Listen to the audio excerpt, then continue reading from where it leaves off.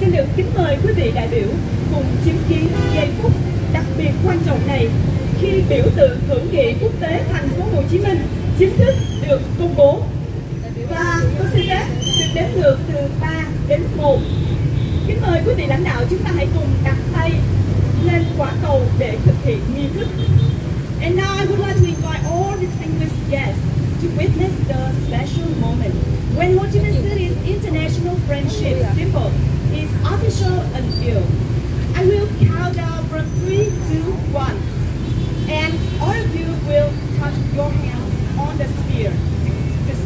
Okay? Are you ready?